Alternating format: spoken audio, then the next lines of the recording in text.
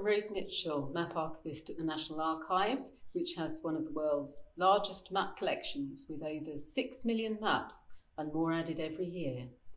They range from as far back as the 14th century to the 20th century for places all around the world, from here in Kew to Timbuktu and beyond. The maps reflect British government business they also relate to other records here, such as letters and reports, which together tell a bigger story than either can alone. Maps capture historically significant events such as battles, journeys of exploration, and important business matters such as treaties.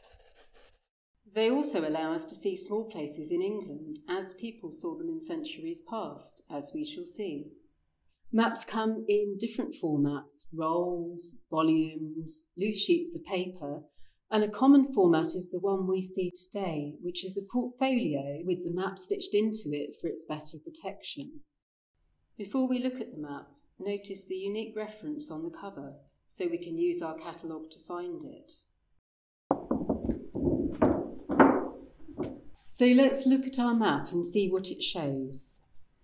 Many of our maps are hand drawn and unique, such as this beautiful 17th century map. It dates to 1608. We know from the related papers and court case for which it was made, so Shakespeare was alive at this time.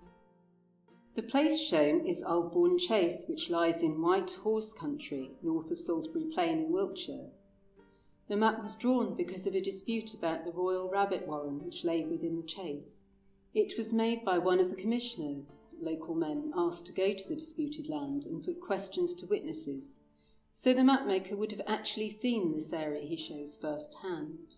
The point of making the map was to show the fields and boundaries, so there's a plan of the underlying land showing the shape of the fields.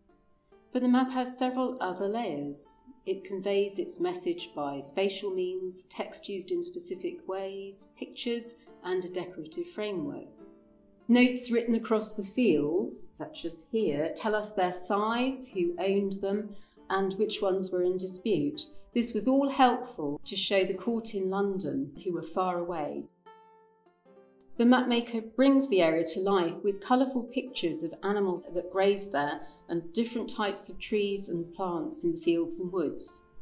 Each tree is drawn with its canopy in the shape of its leaf, such as the oaks the cattle, sheep, and horses are shown eating grass, lying down, and hiding in the bushes. The decorative border has a running pattern of fruit and flowers, including pinks, Shakespeare's streaked gillyvors, pea pods, grapes, and acorns. This is similar in style to contemporary Jacobean embroidery. The mapmaker wrote south at the top, our modern convention of north at the top of a map had not yet become standard.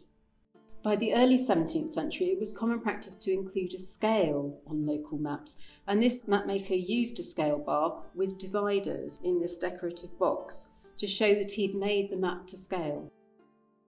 There are several ways in which this map is useful for understanding more about the reign of James I.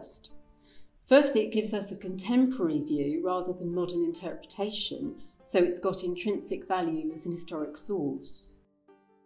Secondly, the visual nature of the map could communicate clearly what was where, more directly than a description in writing alone, at a time when few people could read.